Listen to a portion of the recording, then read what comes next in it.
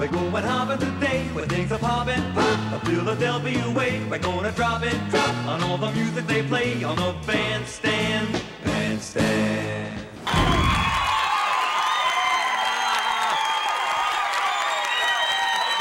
Lovely, lovely. Now, you see the problem. Stop, you fools, stop. That's the equivalent to a standing ovation. I don't know. sir. The problem is, of course, they think that's a brand new song. They never heard that. What was the dance that guys? What was that oh, thing you were doing? Slop. A slop. Oh, I remember. And that was that was one they didn't really want us to show when, when they did. I don't. It was a dirty dance. Because in guys those had their days, hand yeah. in their uh, pocket. It was, you know, and it said, looks suggestive or You know what? something. You put your hand in your pocket because a lot of the guys used to wear hip socks. You Hip socks, they pull your socks up with it. Oh, I love that stuff. Uh, you, can I clarify something right away, Tim? Where'd the name come from? Quickly, in, out, you've done it a million times. It, it comes from a book that was written about New York, and people in New York call Manhattan Transfer, and it was written oh, about 60 years ago, and that's where we got it from, the book. You have a very strange conglomeration of tastes in this album from which this thing came. What kind of music's in there?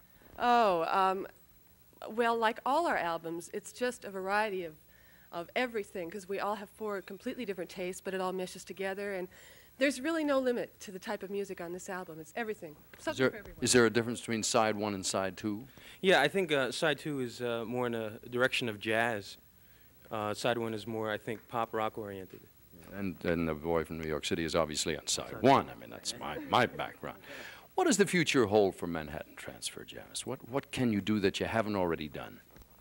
Well, I think uh, that we'd like to get into something that takes us away from the grind of making albums, going out on tour, you know, keep doing that. Uh, I think we'd like to get on Broadway, maybe do a musical. Stay home. Is New York City home?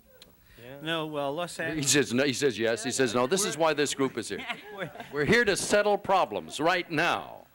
Since when did you move back to New York? well, I thought, I thought what he meant was is that where you know where he originated from. Yeah, Would you like We to started in New York. How you- how'd you- and how We you- started in New York, right? we live here. We've been living here about six years. You but- talk to each other occasionally? Once in a while. what did you Do you know where he say your lives? name is? I'm sorry. We've lost track of this whole mess here. Tell me about the, the song you're about to do. It's, I, I watched it in Well, he should really he should really talk about the song because he wrote it. and He he really knows more about it. What was your inspiration? Bond. James. I tell you what, better we, better we should not talk about it. We'll do it.